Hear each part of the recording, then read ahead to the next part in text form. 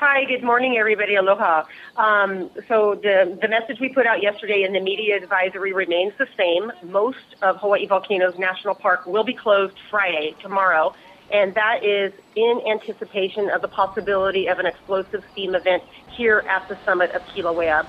Um, the part of the park that will remain open will be the Kahuku unit, and that is in the uh, southwestern part of the island. This is a 116,000 acre part of the park that is in Ka'u, uh, near the 70 mile marker, for those of you who know. But not all of the park is closed, but the main part of the park near Kilauea, all of that will be closed, including Volcano House and Kilauea Military Camp, the post office, etc. It is complete closure up here in the summit area of Kilauea.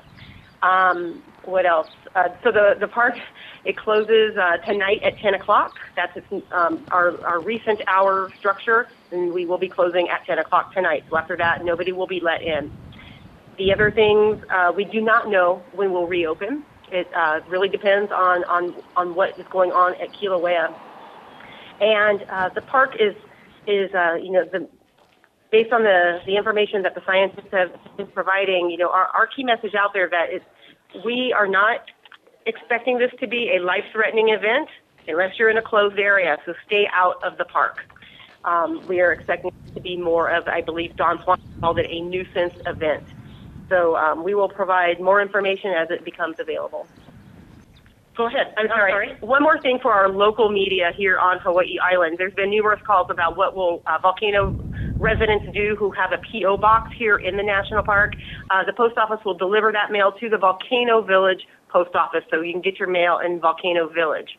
Employees and also campers who and backpackers who might be in the area. Um, I'm just wondering what is the mechanism for getting people out of the park who might be in the back, uh, you know, regions up uh, Mauna Loa, and also how um, how are the park employees um, going to be taken care of during this period of extended unemployment? Sorry. Hi, Jeannie. Good morning. Um, the backcountry is not open. It has been uh-huh. closed since the 6.9 earthquake. So we've been in a partial opening. There's nobody in the backcountry right now. We have a very limited opening since um, Sunday when we when we reopened.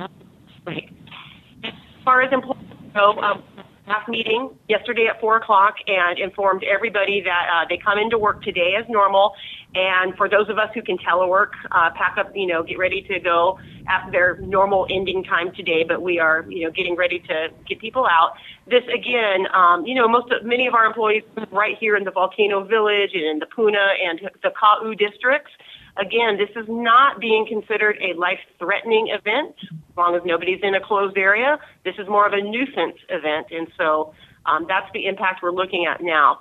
Um, we do have employees, however, that are under considerable stress, and we have um, the Employee Assistance Program. That's a federal program for uh, DOI employees to assist them with any kind of counseling that they might need. Um, so we have those mechanisms in place.